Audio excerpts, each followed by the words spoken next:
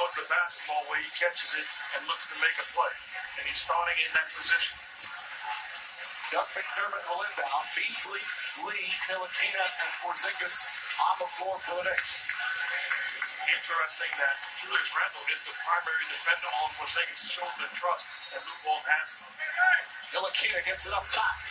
Final seconds. Porzingis catches. Porzingis puts it over the buzzer. Overtime here at the Garden.